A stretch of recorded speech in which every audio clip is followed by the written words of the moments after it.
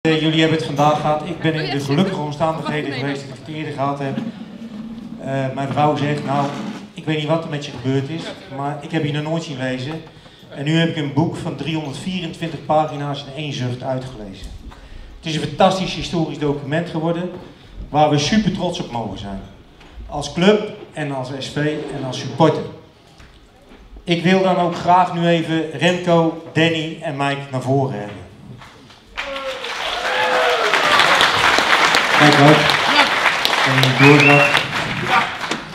Eén, twee. Nee, nee, nee. nee. Voorzichtig. Oké. Want deze jongens hebben wel heel veel aan de kant gezet de laatste tijd. Het is niet niks om avond en avond druk te zijn met een boek en je gezin even naar de achtergrond te zetten en het allemaal te doen om onze historie vast te leggen. En het is een geweldig verhaal geworden. En ik denk, ja, wat moet ik ze nou vragen? En ik heb voor alle drie één vraag verzonnen. Want ik kan een heel verhaal houden. Maar deze jongens hebben alle verhalen opgeschreven en bedacht. En dus Remco. Welk verhaal is jou nou het meest bijgebleven van de vele interviews die jij gedaan hebt? Eentje. Ja, ja, zoveel. Nee, één. Eén? Oké. Ja, wat mij eh, bijgebleven is, jaren 80, eh, dat ze met z'n allen in de, in de trein zitten. Maar, maar, maar, maar. Ja, ja. En eh, een uitwedstrijd en eh, dat er een eh, psycholoog meegaat om te studeren. En ja, dat er een, een supporter die gaat naar de toe. En die haalt een stuk snot uit zijn neus en die schrijft zo op het raam kut hoor. Ja, dat vond ik, dat vond ik wel een leuk, leuk stukje.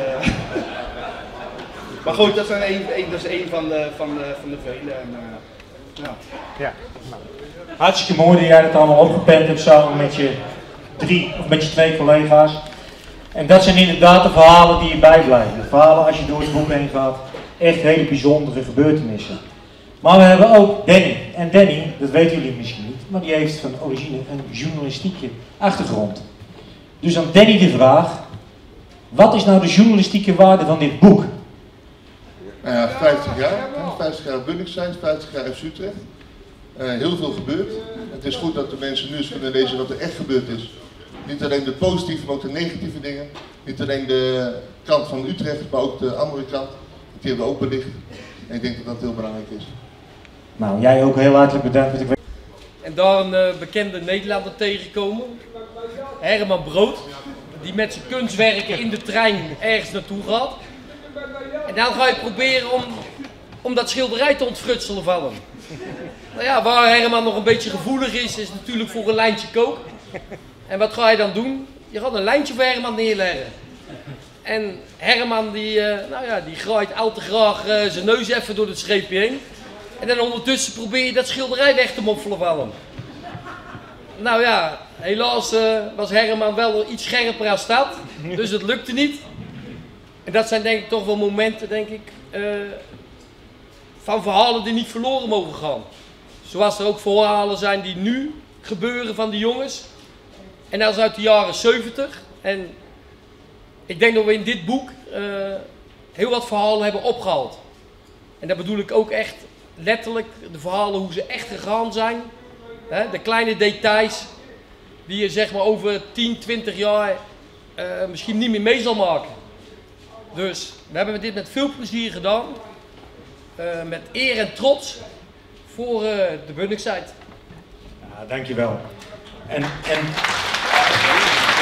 Nou, echt een applaus.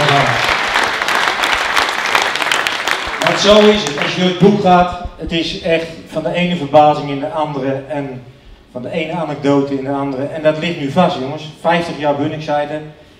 Wat jullie hier, zoals jullie staan, met z'n allen gecreëerd hebben. Die historie hebben jullie gemaakt, zoals jullie hier nu staan. En hun hebben hem opgepend. En nu wil ik toch, kijk, want het is een presentatie en dan denk je, ja, er moet toch iets officieels gebeuren. En nu wil ik toch Polly hebben. Polly, waar ben je? Want ik zie je niet. Polly.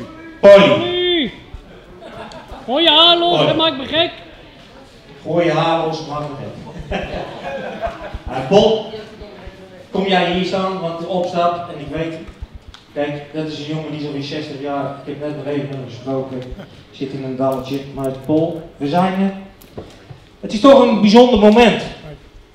Want wie geef je het eerste boek wat uit de doos is gegaan? Want we hebben het niet op de loopband gezien, maar het eerste boek wat uitgepakt werd, dat moet toch aan een speciaal iemand gegeven worden die alles meegemaakt heeft en overal ja, bij geweest is en nog steeds bij de SV is betrokken en nog steeds een betrokken supporter is. En toen kwamen ze bij jou, Paul. Dus aan deze jongens de eer om jou toch dit speciale boek op een speciale manier te overhandigen. Mike, wil je nog wat zeggen? Paul, we hebben voor jou gekozen.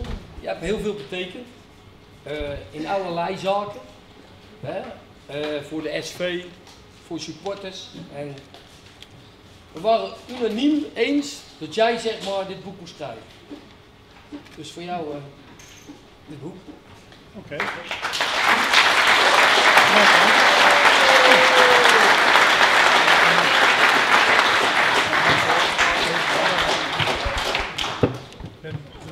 Paul, dankjewel.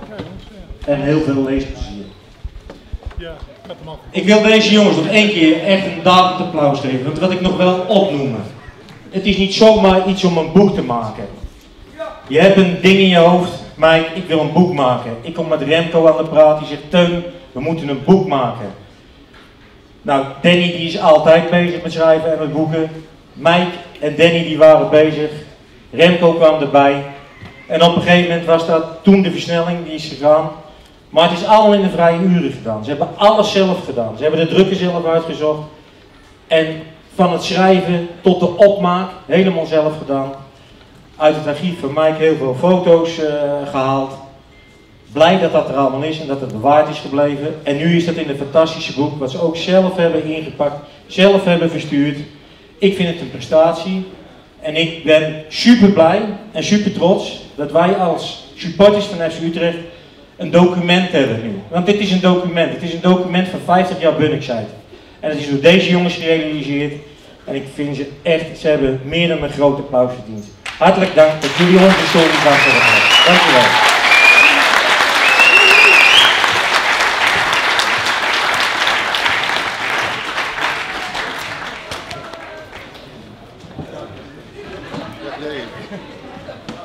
Hey, Pik! Pik! Pikkie!